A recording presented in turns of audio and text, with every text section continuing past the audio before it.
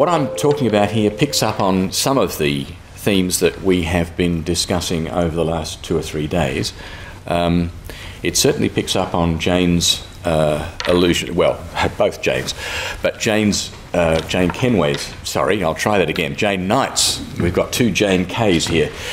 Um, Jane Knight's allusion to regionalism uh, yesterday in particular, but it also um, raises issues of identity, um, including diaspora identity, um, and to some extent the issue that Jane talked about of, of methodological nationalism and some of the limits of that um, approach. Um, and so it's situated in a very different part of the world, and since we are among geographers, we need to have a map. So, in particular, as you can see here, China's, and I'll talk more about this, you can see China's borders, um, in fact, impinge on a number of Southeast Asian states, now, ASEAN, the Association of Southeast Asian Nation uh, member states. And I'll come back to that and the implications of that as we go through. Um,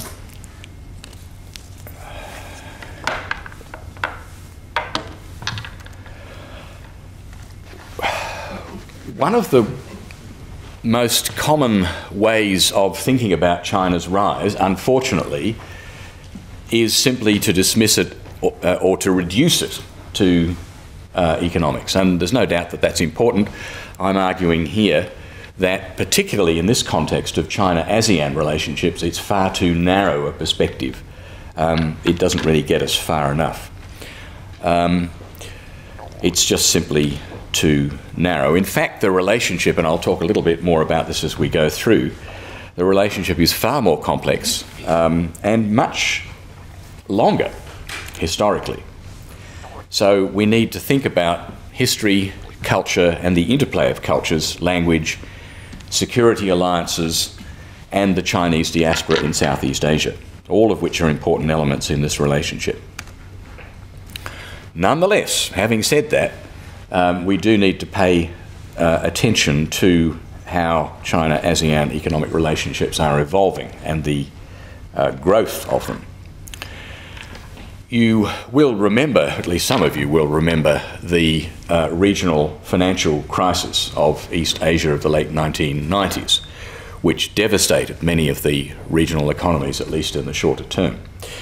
So, one of the lesser known features of that event was China's financial assistance to several of its neighbours, quite major packages um, to uh, make available aid and, and uh, loans and so on.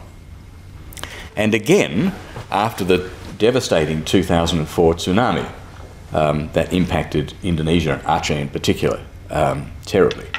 Again, China was very helpful, and that helped um, with its perception in ASEAN, which has not always been a simple one. We also have now a China ASEAN free trade agreement, free trade area, um, signed in 2010, um, and now increasingly in beginning to embrace service sector trade, not just trade in goods and, and products. Um, there's also some other framework agreements like the air transport agreement and so on. But the kind of areas that we're interested in uh, include higher education, but also things like tourism and finance and so on. And if we look at some of the flows that, that um, Jane was talking about, this Jane, um, you see here that tourism is actually one of those very major flows, as you can see here. Uh, of top 10 destinations for mainland Chinese tourists, four of them are ASEAN member states Singapore, Thailand, Malaysia, Vietnam. And the flow in the other direction is also substantial, something like 5 million ASEAN tourists visiting China in 2008. Um, that rising service sector trade is also, interestingly, spurring regional demand for Chinese language. Again, an education service. Um, this includes, of course, the uh, dramatic growth of Confucius institutes, um, in this case within ASEAN. And depending on which source you look at, um, it's between 25 and 30, some of them uh, haven't uh, survived, but it's quite impressive to see something like 25 or 30 Confucius Institutes even within this uh, geographically bounded space. Um, and you see the numbers there. Um, seven in Indonesia, more than that probably in Thailand, but Philippines, Malaysia, even Myanmar, for heaven's sake, and um, one in Singapore, Cambodia, and Laos. So if we look at trade flows, you see here um, that ASEAN's trade with China outgrew that of Japan in 2011. Um, so you see there um, that the EU is still China's um, largest partner, US um, second, and then uh, ASEAN. And you can see how spectacularly it's grown over the last 20 or more years. But the fact that China ASEAN trade is actually growing at a rate faster than those other two means that it's likely that over coming years, and there are some elements we need to take into account that, that um, condition that relationship, it's likely that um, China ASEAN trade may well outstrip the, with those other two uh, partners. What's behind that? Well, in part, of course, geographic proximity and to some extent economic complementarities. And I don't have time to go into that, but the, it, complementarities are an important underpinning of China ASEAN trade. Um, China's investing heavily in the energy sector in Southeast Asia, Indonesia's oil and gas industry, uh, an oil and gas pipeline to connect Myanmar to Yunnan, which is one of China's border provinces with Vietnam, and so on. Um, and um, yeah, that's a complex relation to, relationship, in fact, um, as for reasons I'll point out in a minute. Um, and then there are um, stakes in, in other ASEAN states, particularly in relation to energy, which is a big demand in China. Um, there is this, in turn, however, poses something of a risk to the more resource based economies in the region, both Indonesia and probably Myanmar which is also heavily resource based, but of course only emerging from five decades of uh, authoritarian rule. Um, a shift towards service sector trade can mitigate some of those issues. Um, the former Premier Wen Jiabao, in his 2012 government work report, um, stressed further growth in outbound uh, direct investment, particularly in service sectors.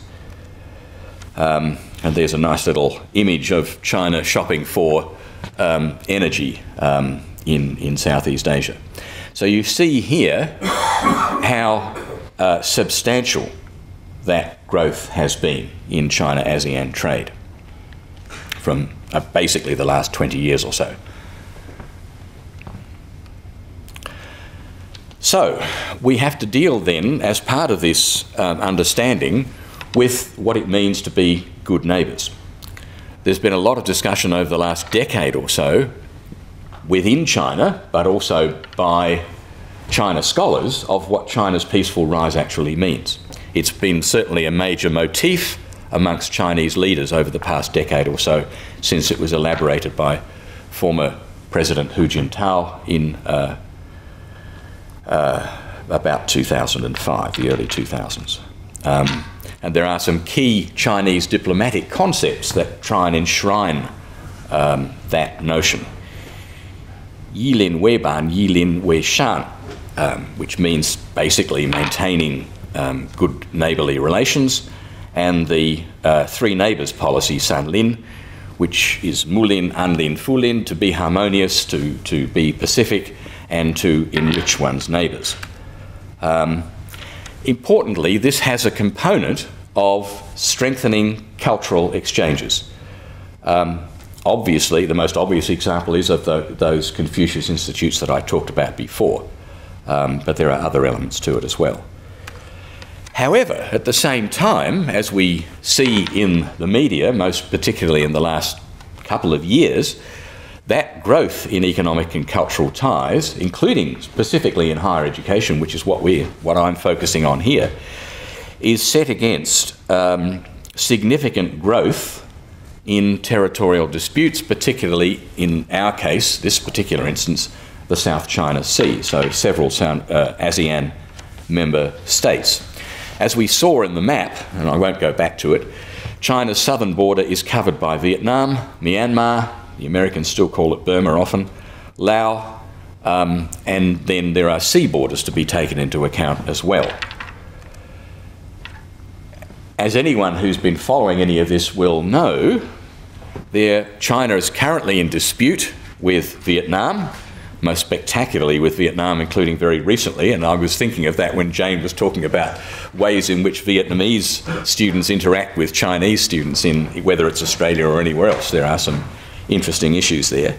Um, also in dispute with the Philippines in the South China Sea and has raised the prospect of declaring an ADIZ there. And there's been some moves um, recently to um, lower the tensions and, and come up with a, a, uh, a kind of modus operandi to solve some of those disputes.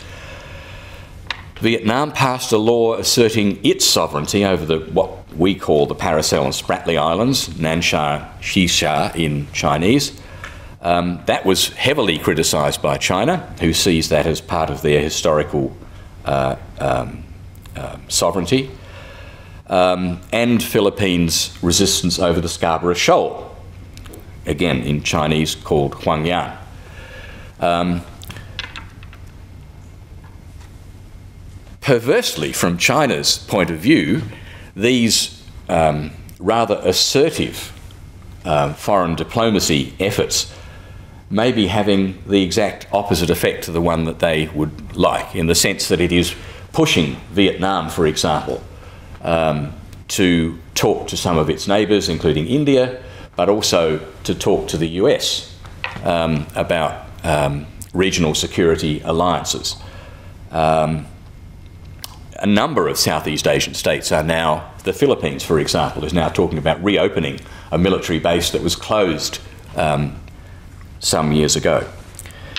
Um, but it's complicated. ASEAN member states, if you look at the rhetoric, the official policies, often they are expressive of a kind of hedging. For ASEAN states with these two major powers, arguably what they want is a certain balance between the two. They don't want one power, whether it's China or the US. They want to be able to pursue their own path by, to some extent, navigating between those two in a situation that gives them a degree of flexibility. And, you know, one of the issues that, that um, it, it, it, that issue is something also that Australia increasingly confronts. You know, how do we kind of navigate these rather sensitive shoals? Um, where on the one hand our traditional security alliance and has always been with the US and will continue to be, but our trade is increasingly very much, and a lot of our cultural exchanges are now with Asia. And there's a, uh, an interesting tension there too, which is a little beyond what we're talking about now. So, in a sense, ASEAN member states are interested in preserving a kind of dynamic equilibrium that gives them some space to um, develop and, and uh, proceed. Um, China's response has been, when dealing with ASEAN, to try and uh, insist on bilateral negotiations and to eschew entirely multilateral negotiations for reasons that are perhaps not too hard to understand. Complicating the picture even further is the role of Chinese minorities in Southeast Asian countries, in ASEAN member states. And uh, again, as anyone who knows the region and, and has uh, been reading uh, studies of the region or been working in the region knows, um, there have been long standing concerns, and these are current, they're not, they're by no means dissipated, uh, amongst many ASEAN uh, member states about the role and significance and effects of the Chinese minority within their countries. Um,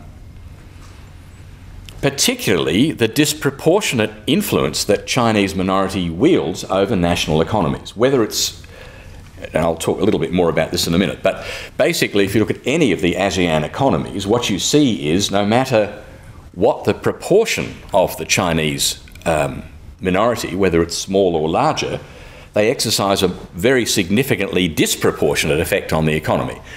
So their, their economic importance is much greater than their numbers might suggest. And for this and other reasons, there have been uh, intermittent violence practiced against uh, local Chinese minorities, the most spectacular example of which was Indonesia in 1965, when uh, an anti communist uprising was in fact used as a, in many ways, uh, uh, an anti Chinese campaign, and, and, and, well, thousands of people were killed. But Malaysia, Vietnam, um, and Vietnam, of course, has a particularly problematic relationship to going back over at least a millennium uh, with China. Um, this year is the 35th anniversary of the last time Vietnam and China went to war in 1979. Um, and we need also to think about the history of geopolitics in the region. ASEAN itself, founded in 1967, right in the, you know, in, in the, the latter, well, it, during the Cold War, let's say, in part founded significantly in part as a bulwark against rising communism, the so-called communist threat in the region. Um, so Vietnam, for example, only was able to join ASEAN in 1995. Um, there's been strong anti-Chinese sentiment, which continues today to some extent in Indonesia, um, fed by perceptions that um, the Chinese minorities' loyalties were more to Beijing than to Jakarta. Um, and there is ongoing and significant discrimination um, against uh, Chinese Malaysians in terms of education and everything else, but it includes higher education. Um, another mythology that we need to dispel is that relations between China and ASEAN are relatively new. They're not at all. Um, if we go back into China's history and the history of uh, the ASEAN, what's now the ASEAN area, you can see that intra regional trade began even before what we know as the BCE, uh, the Common Era, the inception of the Common Era. It grew during the Three Kingdoms period, particularly during the Tang Dynasty, um, the Yuan Dynasty, uh, when Kublai Khan sought to extend territory in the region, including particularly in Java. Uh, and we know that there are significant records of um, trade. Um, including by some Chinese Muslims. And coming down through Thailand, Cambodia, Malay Archipelago, Java, and Sumatra. And that became, uh, was heightened by a weakened government in Beijing uh, at the end, towards the end of the Ming Dynasty, which, as you know, ended in 1644. So there were more opportunities to enhance that regional trade, particularly Hokkienese or Fujianese who have always been very active um, traders. But also the reverse direction, and we know less about that. But we know that Malaysian and well, what we now call Malaysian, Malay and Indonesian sailors were active in the region too. The Hindu Cham Empire of central Vietnam, which has you know basically disappeared, it was taken over, well, yes, dominated by the local Vietnamese um, conquered. Um, but they also were quite active traders and, and voyagers. But the most well known example is, of course, the uh, famous uh, Ming Dynasty admiral, Zheng He, whose voyages between 1405 and 1433, several voyages, um, comprised dozens of ships, uh, tens of thousands of crew, um, and extensive trade in both directions. Interestingly, and this is perhaps less well known, is that Zheng He himself was a Muslim and a eunuch, of course, um, as, as would have been, uh, as, as, was common for um, uh, those at the court. Um, so he would have found some kindred spirits, fellow Muslims, of course, when uh, sailing around uh, Southeast Asia. These were relatively uh, peaceful voyages. They weren't voyages of conquest or imperialism, uh, particularly. Unfortunately, very sadly, when he returned, um, basically, the Beijing court decided that for various reasons these were no longer of interest and all the records of those voyages were destroyed, which makes that book by Gavin Menzies even sillier than um, it, it uh, in fact was. Um, he even wrote a subsequent volume talking about Zheng He's visit to uh, the Thames and London, which was even sillier. But nonetheless, a very important, um, very important episode in regional relations. So these relations that we talk about now are in fact very, very substantial and very long-standing. And you can see some of those voyages here on this map. Um, and the regional uh, dimension of that. But the routes that um, we're talking about were also routes for ideas. Um, and again, these uh, connections are of very long standing. Poetry, astronomy, medicine, and so on, arithmetic. The whole Confucian, not just the ideas, but the whole Confucian architecture was um, exported widely through the region and very, very influential in what is now Vietnam, uh, where he's still seen, Confucius is seen as a teacher of 10,000 sovereigns. So, very complex relationships here. Contacts between Buddhists in China and current ASEAN go back to the 6th century. And of course, there was contact between some of the smaller but some significant Islamic learning centres. Um, we know less about that. An important uh, further element is the influence of the Chinese diaspora in Southeast Asia, and that's very influential throughout the region. The proportions, as you see here, differ widely. So, tiny in Vietnam, 1.5%, 25% in Malaysia, and something like 65% or more in Singapore, of which Hokkien is the largest uh, subcomponent. Language, too. Um, less widely, spoken, widely spoken in Singapore, of course, um, less widely in, in Malaysia, uh, much less again in Vietnam. In Malaysia, the Chinese, Chinese families still want to send their kids to Chinese schools and do. In Vietnam, however, you see all the streets are named according to generals and emperors that have been fighting against the Chinese invasion for 2,000 years. So, a very, very complex uh, relationship, particularly in Vietnam. All right, so if we just summarise then, where, where does this get us to? What it shows is that it's not just economics. History matters, culture matters, ethnic ties matter, changing security allegiances and, and agreements, nationalist sentiments, and again, uh, Jane raised that before. Um, political ideologies, including those of the great powers. So, what was done uh, for this study then was to select three ASEAN states to examine uh, higher ed relations with China. So, um, the, the dragon and then three tiger cubs. Now, I deliberately chose these to get some contrast. So, you have on the one hand, Singapore, by far the most developed country and something of an outlier in ASEAN, it has to be said on many uh, indices, but the most developed by far. Tiny economy, uh, sorry, tiny population, as you see, in a very substantial economy, now slightly larger than Malaysia's. Malaysia, with a much larger population, um, sort of middle level um, of development, and then Vietnam, uh, significant population, um, but as you see, by far the poorest. And then, of course, the regional giant of China. So, what we see is some really quite distinct differences between the three tiger cubs. Singapore, by far the smallest, but by far the most prosperous. Its higher ed system is by far the most developed and competes very strongly against pretty much anywhere, certainly very strongly in the region. Vietnam, uh, sorry, Malaysia, middle income, um, with less financial clout, more developed infrastructure, um, now recognising mainland degrees and from Taiwan, um, set uh, um, established diplomatic ties with China quite early and significant trade.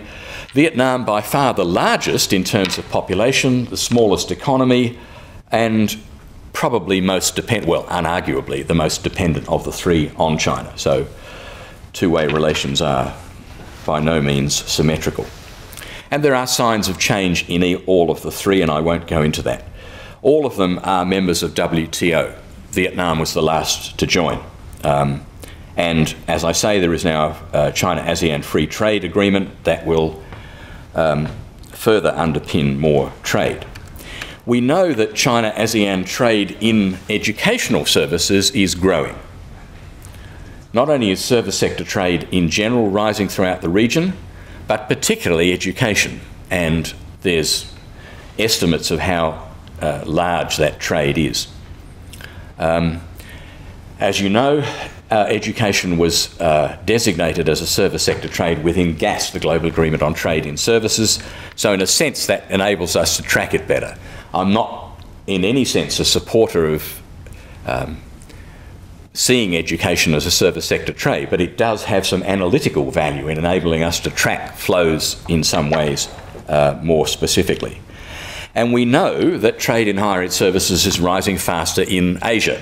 Um, you get some idea there of total US earnings from higher education, the United Kingdom, um, and Australia.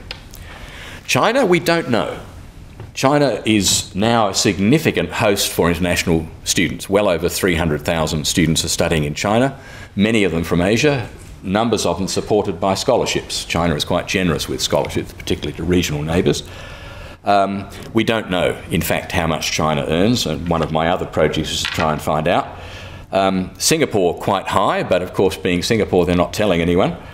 Um, and Malaysia's is expanding rapidly, um, and, and not just regionally. I don't have time to go into that, but they're also projecting themselves in the Middle East as a Muslim, you know, centre for Muslim scholarship. So, um, if we look at ASEAN in particular, and the Shanghai Jiao Tong uh, rating, which we've been talking about uh, over the last couple of days, other than Singapore, virtually no representation uh, of ASEAN uh, universities. But there are now something like 34 Chinese universities on that index.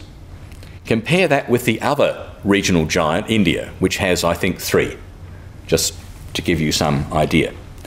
Um, so we need to think about China's intellectual rise, China's rise as a centre for scholarship, research, and um, uh, scientific production.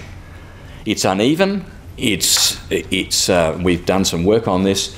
Um, the rise is, is spectacular, probably more in quantitative than in qualitative terms, but we need to pay much more attention to it than we have been. Singapore has invested um, heavily and strategically in higher education and in R&D. It aspires to be, as it calls itself, the Boston of the East. Um, it's about the same size, in fact, a little bit bigger, but not much um, and with some success. It's been uneven again, some of the uh, uh, partnerships haven't endured, but nonetheless, it is now uh, very active and, and uh, seeking to project itself uh, more and more. Malaysia, too, is ambitious, weaker infrastructure, of course, relative to Singapore. They've developed some apex universities um, with expectations that they should rise into the top 100 or even the top 50 by 2020. You know, politicians are very fond of this. You know, we'll give you some money, but you've got to be top 50 within by next weekend um, on some ranking uh, or other. Um, of course, uh, Vietnam is the weakest higher education system in the region. It, in fact, is using internationalisation as a means to um, enhance quality within the system. So it's developing what it, developing what it calls model universities. Um, and you see there that one of these is a Vietnamese German university. Um, I spoke to members of the foreign, uh, the, the, foreign affairs, uh, foreign affairs officials here in Germany a couple of some years ago, and they were saying this just came out of nowhere. Um, it wasn't particularly well planned or anything. It was simply an edict that came down from on high, and they, because others were founding universities in in in Vietnam, uh, Germany needed to have one too, and say, hey, presto, we have a Vietnamese German university. Um, but also another with France, another with uh, America, and so on. And of course, the most, the most, the largest and most well established has been RMIT, which has been there for a long time from Melbourne, Australia. So, um, China ASEAN relations in higher education occur within that very wide, long standing, and complicated and evolving context. It includes framework agreements, trade relations, and so on and, as I said, a very dynamic history and set of cultures and international relations. Um, There are some framework agreements which are of significance when we need to understand this. Um, includes ASI, the AUN, which now is, includes ASEAN plus three. Um, APRU, the Asia Pacific Research University Network, which includes some uh, members from China, but not yet from uh, China, Singapore, Malaysia, but not yet Vietnam. Universitas 21, and so on. And as you see here, there is also some framework agreements about to, to underpin further growth in international student enrolments in both directions 100,000 students in each direction by 2020, according to the Guiyang Declaration of 2010. Um, so here we see, here is where I've tried to use the four GATS modes of, of trade. Not that I'm endorsing it, this is simply analytically useful. And then tried to map the specific relations between China and ASEAN. Um, so these are the four uh, modes, and I won't go into them here. But what we see um, is that there are significant differences, and I'll show the uh, uh, the um, graphic in a minute. There are significant differences within uh, Asia and within these three in a context where in Asia hierarchy is very important, um, particularly in China, but, but more broadly. So basically, Singapore has the most substantial relations based on some very firm and well established pillars. Malaysia's middle income status puts it in a relatively mid position, and Vietnam's um, weaker economic position and particularly complex relationship with China puts it in uh, a, a, more dependent situation. So here we see the specific um, relations and partnerships between China and ASEAN. Um, so the italicized versions, here, for example, and there, these uh, represent Chinese exports, um, and the non italicized uh, are Chinese imports. Um, so you see that, um, even just briefly, you can see that the modes of partnership are quite dense in Singapore, um, less so in Malaysia, and there's an additional factor there that the private sector has been more active than the public, um, and a more dependent relationship in relation to Vietnam. So what we see is hierarchy. Um, even if we look at different uh, Chinese universities, there's a world of difference between, for example, Tsinghua, sometimes called China's MIT, one of its two leading universities, and, and very, very active and dynamic and, and uh, rising rapidly, and say Guangxi University, an important regional university, but right down on Vietnam's borders, a much more limited and regional impact. So, in conclusion, um, hierarchy and stratification are important when considering this relationship of China ASEAN higher education relations. History, politics, culture, language, and the role of the Chinese diaspora are all also important. Ethnic discrimination against Chinese minorities, in the case of Malaysia, against non Bumiputras, which, of which the Chinese are a major example. Um, but also, as I said, we need to take into account the more dynamic um, uh, the more dynamic perspective or the more dynamic stance of the private sector in Malaysia than the public, which is more hidebound. Um, we need to know a lot more about this. I, am only, you know, tracing uh, many of these things, but in much of the detail remains for us yet to discover in terms of income, in terms of forms and extent of mobility, including some of the quiet achievers, some of the border relations, which are really important and often of long standing, but much, much less well known. Um, there is, interestingly, I think, um, and I, I, think it's important to emphasise this, there's significant potential for growth in China ASEAN higher ed relations, despite all these complex historical relations, despite the current territorial disputes in the South China Sea and so on. We can still manage to make them work, and indeed they are. It's also important to, and this refers back to the character of regionalism that came up yesterday, I think, when we were talking about um, the European higher education area and some of the architecture that surrounds it.